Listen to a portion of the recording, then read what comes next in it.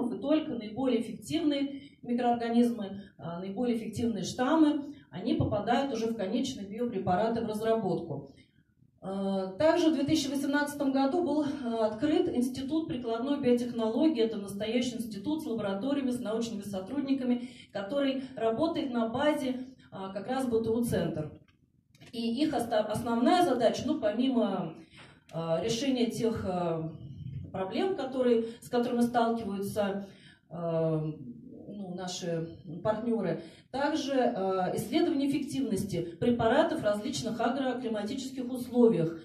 Э, также препараты, не удивляйтесь, э, микробиологические препараты, они могут вполне совмещаться со многими химическими средствами СЗР. Я просто слышала сегодня, да, конечно, в идеале э, всегда было, мы работаем сначала химией, потом мы заселяем бактерии. Но появилась возможность, а, и очень часто, работая в открытом грунте, работая с, а, на полевых культурах, где нет возможности на больших площадях заходить несколько раз и делать эти обработки дорогостоящие, этой технику выгонять надо, ну и много механизаторов привлекать.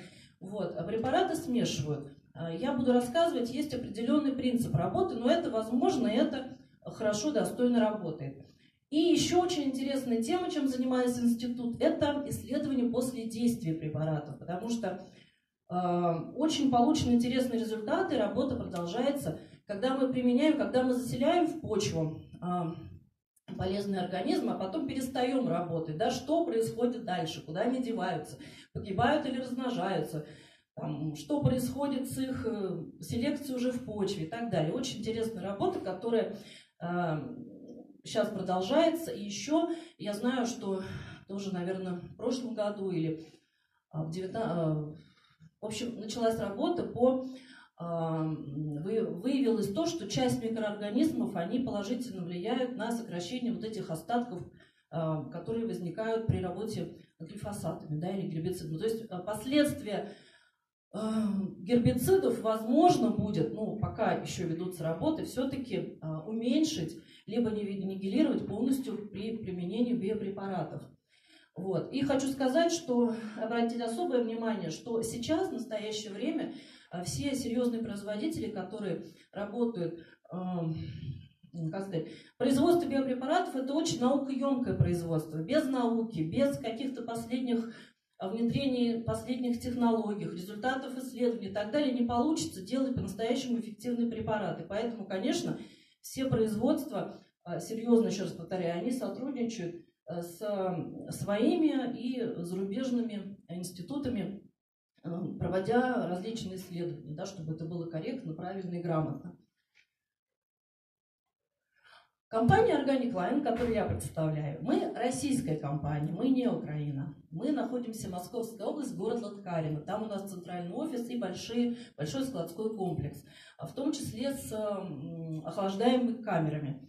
А, мы 2011 года на рынке России и единственные а, дистрибьюторы по рынку России вот этих препаратов. Только мы их привозим, мы их сами регистрируем в России, мы сами регистрантами их являемся, потому что наши препараты, они все зарегистрированы вот, и входят в каталог агрохимикатов и пестицидов. Вот. И мы сами осуществляем вот эти таможенные все вещи, доставку и так далее. Э, к нам фуры идут непосредственно с завода, брендированные, красивые рефрижераторы с определенными температурными условиями, чтобы это было все обеспечено, чтобы мы ну, правильно довезли и обеспечили правильное хранение. А для чего же используются биопрепараты? Ну, сегодня самый первый вопрос был, да, самый первый ответ был он правильный. Конечно, это экология. Экология в первую очередь. Мы все дышим, кушаем что-то, да, и хочется, чтобы это было все здорово, чтобы, проходя мимо каких-то садов или полей, мы не боялись оттуда получить ну, какие-то неприятные вещи. И, конечно, а, я ни в коем случае не призываю, никогда это не говорил, что давайте не будем работать химией, давайте мы возьмем сейчас быстренько все биопрепараты вот, и будем работать. Конечно, нет.